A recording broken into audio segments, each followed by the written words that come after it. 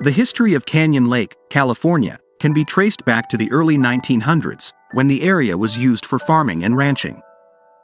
In 1927, the Temescal Water Company built a dam on the San Jacinto River to create a reservoir, which was named Railroad Canyon Lake.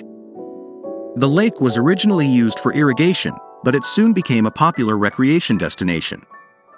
In 1968, the Corona Land Company began developing Canyon Lake as a master planned community.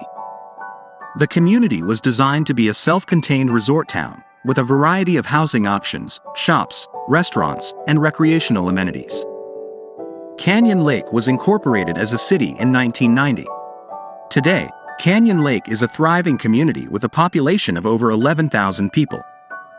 The city is home to a variety of businesses, including restaurants, shops, and service providers.